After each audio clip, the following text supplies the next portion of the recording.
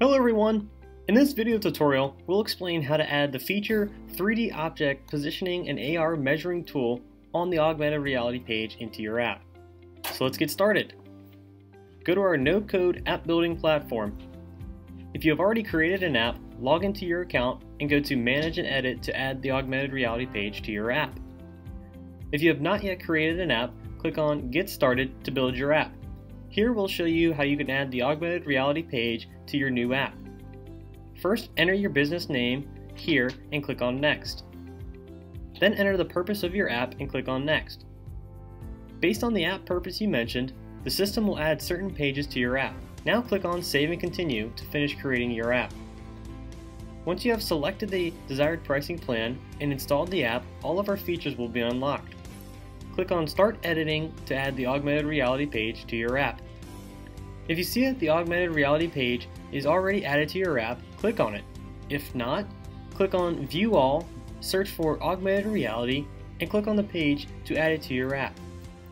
The existing app users can add the augmented reality page into their app in exactly the same way. Now let's take a look at everything you can do with the newly added augmented reality page. This is your page name. If you want, you can change it to fit your needs. From here, you can change the page icon. If you want, you can select a solid color or an outline for your icon or even an image from our library for, or your own custom image for your icon. You can even upload two different images for the mobile app and the website.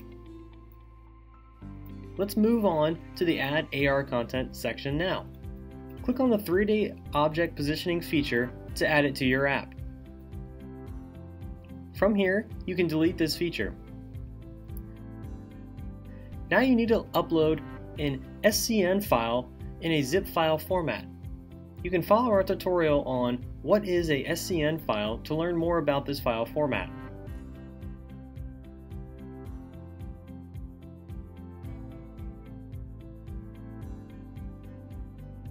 Once done, upload a thumbnail image the thumbnail image is an object image that will be projected wherever the user wants.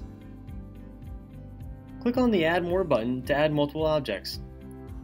From here, you can delete objects. Let's add the AR measuring tool feature now. Click on the feature to add it. With the measuring tool, you can allow your users to virtually measure real-world objects using the app. Users just need to start the measurement and move the device to the endpoint. Turn on the toggle button to add this feature to the AR app. Once done, click on Save and Continue. That's all for now. Stay tuned with AppyPie for the latest updates.